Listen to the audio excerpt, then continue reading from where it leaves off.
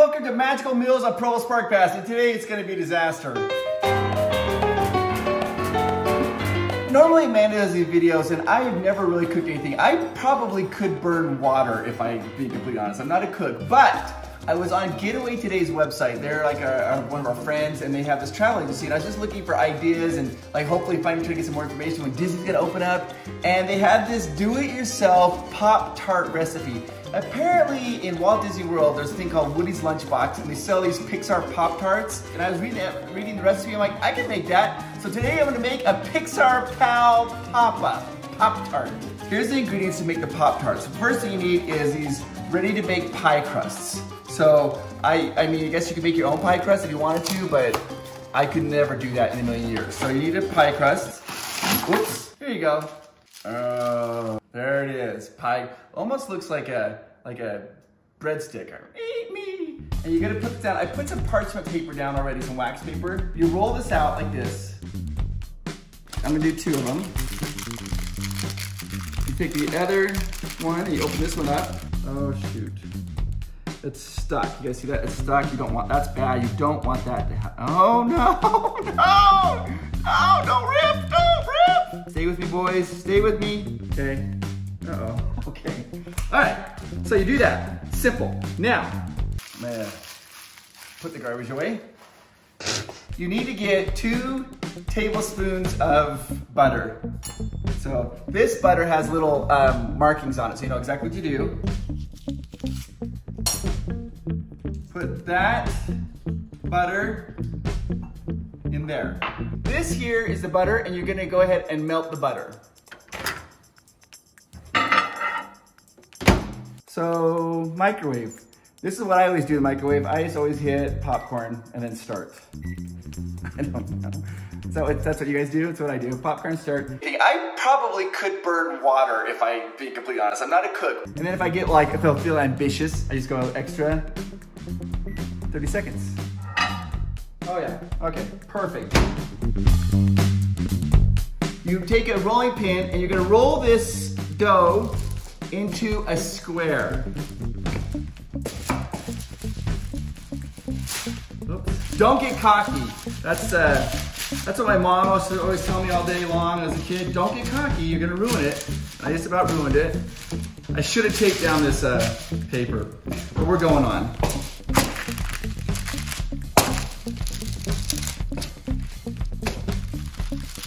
I rolled this one, it's pretty close. I mean, that's, that's almost a square. Now I'm gonna roll this one out here. Remove all this. Okay, hang on.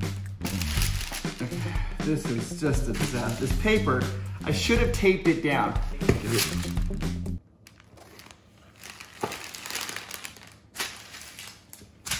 I can't do this, guys. This is so bad. I just rolled my tie in the pie crust. Somebody's gonna get hurt. That's somebody's gonna be me. Have you guys seen, what's that movie? Um, Indiana Jones and the Temple of Doom when the guy gets crushed by the rock? That's almost just happened right there on camera. To be honest with you, I don't think I ever get embarrassed. I feel embarrassed that this just happened. I'm not a cook. Okay, now, what we have to do is we gotta take the butter and I, I don't have like a brush or anything, but I don't know how to do this. No help for the camera person. So I'm just gonna sprinkle a little bit of butter. Um, I'm gonna wash my hands. Again, I wash my three times. I'm using my finger to spread it. Is that gross? You could maybe use like a spoon. Oh, right, got it. Okay. Butter, take a little bit. Like this. You know, the secret ingredient is always butter. Butter makes everything butter. now, did you hear that? This is my pizza cutter. Welcome, R2. Cut it like this, ready? I don't know if I should cut like that. All right, we're sticking with it. Okay, and then we're gonna cut like this, and then we cut like this, and then we cut it down like here, and cut like here, and then like here. Take some more of this paper. This paper is, I, it's my bane in life, like literally. And you're gonna lift this Pop-Tart up very carefully and put it on the tray. Looks like I could only cook four Pop-Tarts. so we're gonna, we're backtracking now. We're gonna put um, some goodness in the center of it. Now, one of the things that they says to use is jam, and my mother-in-law, Sweet D, as I like to call her, she makes homemade raspberry jam. I'm gonna use that for the center. Homemade, guys. Whoa, that's way too much. You don't wanna go right to the edges. That's, that's I, I remember that when I read the recipe. So, just like that. You take the top part, and you just put it right on top Okay, like that. This is not part of the recipe. Nobody's ever said to do this, but I'm gonna do it anyways. Take a little dab of peanut butter. Just, I'm gonna, make, guys, I'm gonna spread it out. I don't know if this is gonna work, guys. This could be, this could be the worst thing that's ever happened, or could be the greatest thing. A little dab of jam, you know, just to, just to spice it up a little bit. Put that on top of it.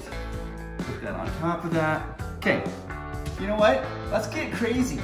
Um, what else can we put in the center of it? Nutella. I don't have Nutella, but I do have this, the Nutella on the go. This is Miles' little treat he gets if he does something good. He'll never know. Get the Nutella out. I know what you're thinking. You're thinking, Chris, this is awesome. I like a lot of Nutella. I mean, let's not be, guys, let me give my advice. If you're gonna do it, do it right. Don't be chintzy with the Nutella. Kind of looks like a wing. I got room for one more. What should I put in the center of it? All right, I'm doing the real recipe in the last one here. I'm gonna put in some more jam. Sweet D's raspberry jam, homemade. She would be a billionaire if she would sell it. She won't even give the recipe out. Mm -mm, she won't. You know what, let's just, let's just go all out. This one here is gonna fold that right over. That was easy. I maybe should have been doing it the whole time. And put this there. That is a huge Pop-Tart. Now, fork, okay? You have to go like this. And that puts, that makes the Pop-Tart, that makes the two pieces of dough stick together. See that? Yeah, I do. That's amazing, Chris. How'd you learn to do this? Culinary school, culinary school guys. Are... I'm not a cook. Oh, shoot. It's gonna have to kind of go like that maybe. I think what I just learned is you should probably do this before you put it on the cooking tray. Because then you have more room, because look at this. Look at this. This is just a disaster. We're making it up as we go, guys. We're making it up as we go. That's just like life, though. I'm sure people at Getaway today are cringing. like, what are you doing to our recipe?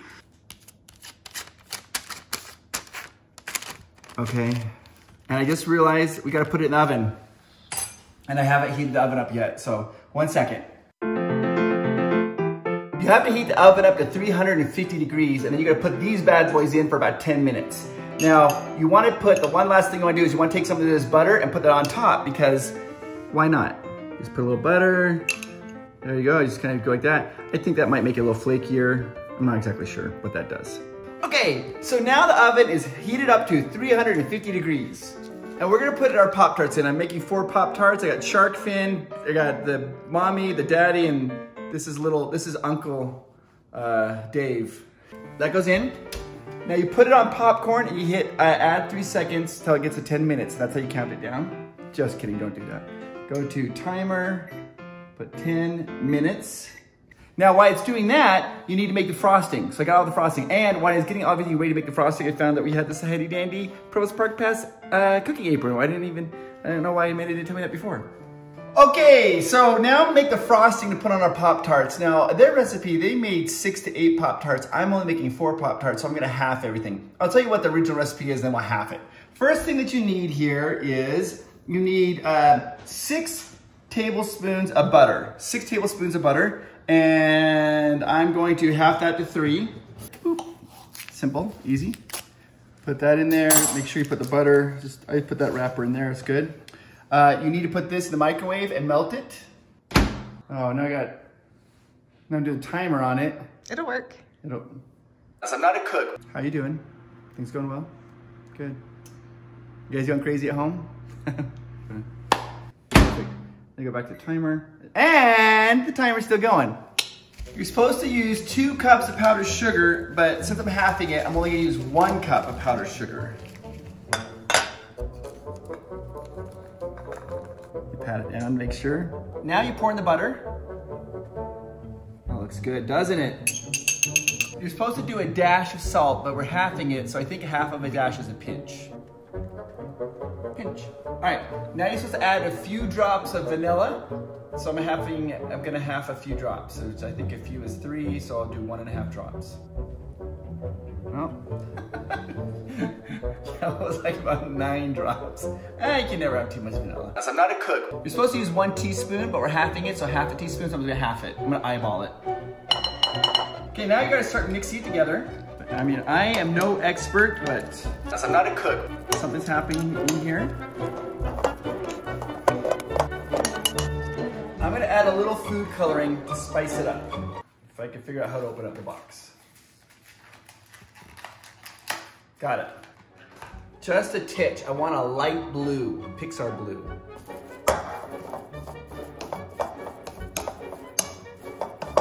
Does this look like normal frosting? No. I don't know if the frosting's supposed to look like that, but we'll see. We'll see how it tastes. Okay, our timer's going off. Let's take a look and see how it looks. I want it to be kind of light, flaky brown.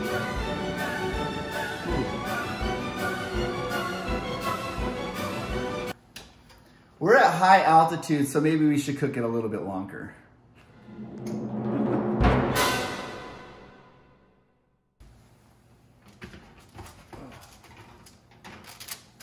Oh, look at that.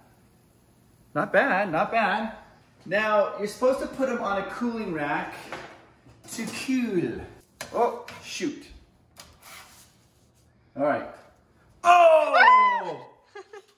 We lost part of the crust. That's why you have to fork it even better. This one's gonna be the hardest one. It's the big one. It's the Big Papa. I like it when you call me Big Papa.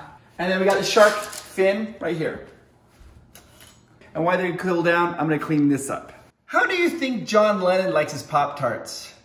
Strawberry filled forever. Here's the thing. Now we're gonna frost it. Oh, the frosting's are a little harder. I don't know if this is gonna work. I'm gonna get my fingers wet. That'll be better.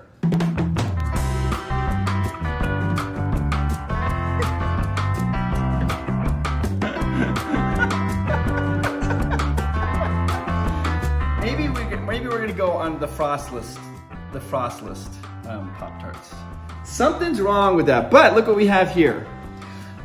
I went to the store to buy um, like, like the recipe says you should put like like uh, yellow hearts and not yellow yellow stars and little white like light like sugar balls on it to make it look like Pixar. But I couldn't find that. But this is I got overwhelmed at the store looking at all the things you could put on top of a cupcake. There's sprinkles, there's glitter, there's glam, there's like oils, there's like there's every flavor. And then this attracted me because I like the color orange. So I thought I'd do a little orange. Oh,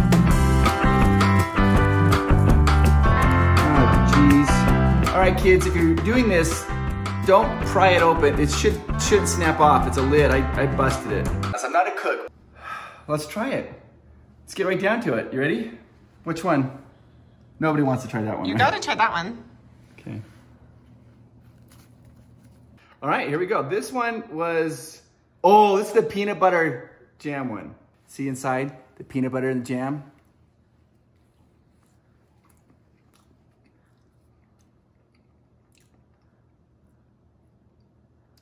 Wow.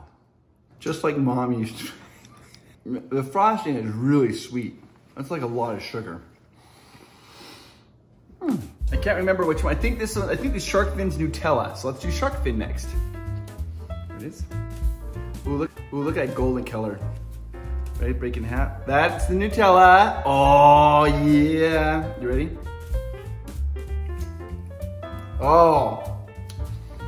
Mm. I, I mean, I like the frosting, but this I think tastes better with actually without the frosting. Let's have Amanda to try one. Good job, babe. These look amazing. Um, what is what? Are these both jam? Uh, yeah, Okay. sure.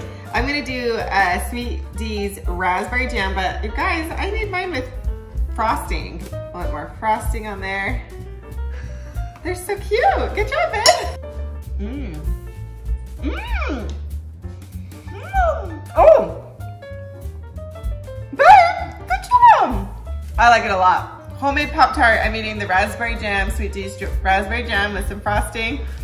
It's actually really good. Mm-hmm. Yeah. Yeah, it's actually really good. Mm. Good job, Chris. Happy baking, everyone. Anyways, I hope you guys enjoyed this episode of Magical Meals with Amanda minus Amanda, because next time we do this, definitely Amanda's gonna be here because we need Amanda to do Magical Meals at Pearls Park Fest because I cannot do Magical Meals without Amanda. So, excuse me, whoa, that was a mouthful. Anyways, go ahead and like, subscribe, you know the whole drill by now. And if you wanna see some other fun cooking videos, look over there. There's a good video right there where Amanda, that's a good one. You guys will like that a lot. And if you want, you can get an extra video every week where Amanda and I will answer any question you ask us. And it only costs $3 a month. Go to Provost Park Pass, go to patreon.com, Provost Park Pass, and sign up for $3 a month, and you'll get an extra video every week with me and Amanda. Woo! As I'm not a cook,